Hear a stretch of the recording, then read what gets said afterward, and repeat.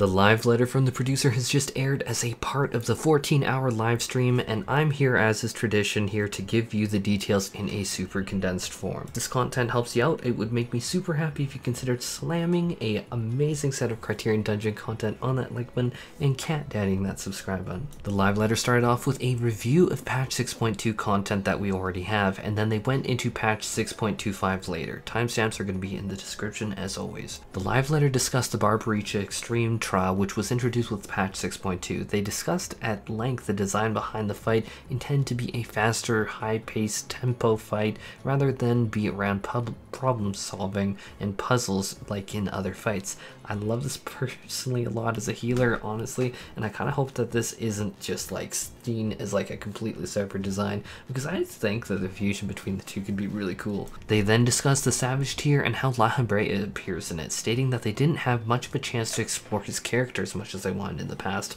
Then they spoke about releasing Savage a week later and that it was an overwhelmingly positive response, which I wholeheartedly agree. It was such a relief to me when I could see that be like that delay. let me get through the story, let me get prepared for the raid, and so much. But they did cite a concern that even I myself brought up before when we were first hearing about it, about the crafting gear not selling well. But they did look at the data and it showed actually more crafted gear was sold, which is a pleasant surprise. And so they are thinking that this delay is going to continue going forward. They might tweak it a bit, but going forward, it's a positive. They then went into Island Sanctuary where they raised that many players decided to optimize the way of doing tasks. Oops. Definitely not one of those players.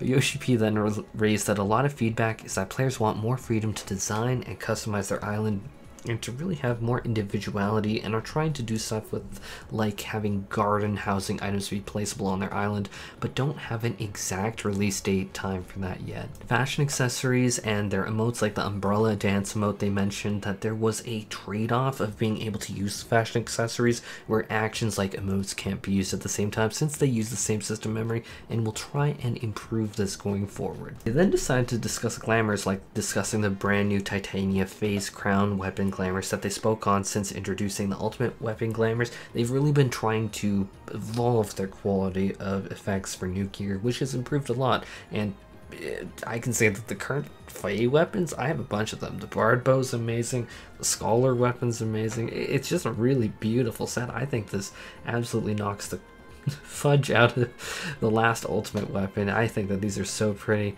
But the problem is that now some players are asking to disable gear effects, which obviously is going to be something we've seen crop up before. Like we wanted people to say have the option to disable relic weapon effects. Like last relic tier, you were actually able to get like the unaffected final version of the weapon, which was very nice. But they also raised that other players are raising wanting to see the ability to dye specific elements of armor.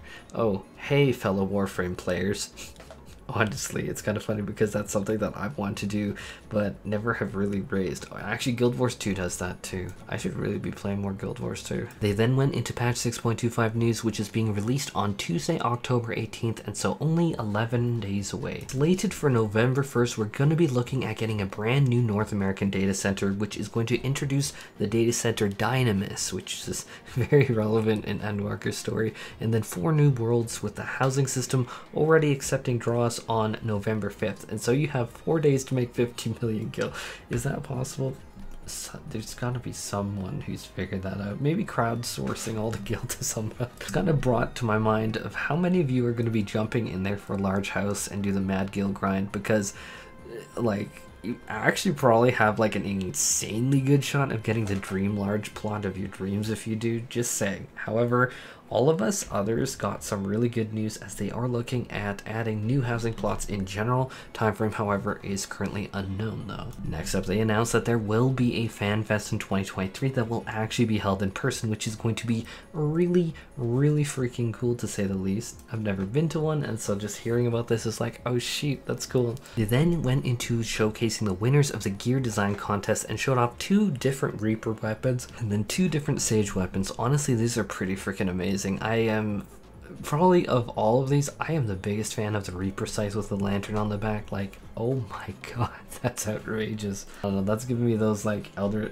horror vibes. I, I I'm living for that aesthetic. I think that's an aesthetic we don't see nearly enough, and I am so I love it. They then announced that the Halloween event All Saints Wake is coming on October 19th, so the day after we're getting the patch, which I'm personally really excited for. The glamours from the last event were absolutely spectacular, and so hoping for something crazy here. And that really brings us to the conclusion of it. So I'm going to be going and just adding the job changes that they were talking about here. It's in a separate video, but I figure it's short enough that I can add it here. So basically they are looking at either like removing or reducing the range DPS tax because they made the hitboxes so big and so they don't think that it's really fair to keep the DPS difference as large as it is between range DPS and melee DPS because they made it easier to keep the melee uptime. They also cited that there will be only number passes coming in patch 6.25 as well as coming in patch 6.28. Those are going to be number passes, but they said that action changes can be expected for patch 6.3, so that's probably going to be larger like ability functional changes. So here's keeping my fingers crossed that the machinist is going to end up being okay. Fingers super crossed that that happens. Anyhow, that brings us to the actual conclusion of the video and I hope that everyone is super excited for the patch as I am. I wanted more Criterion Dungeon information, but I guess that we got enough already and that they're just waiting to release it on the 18th and so that's fair. But anyhow, I hope that everyone has an absolutely fantastic day. And as always, if you want to help me out and this video helped you, I would super appreciate and be really happy if you considered dropping a beefy Criterion Dungeon on that like button and cat daddying that subscribe. Take care, everyone. I hope you have a beautiful day.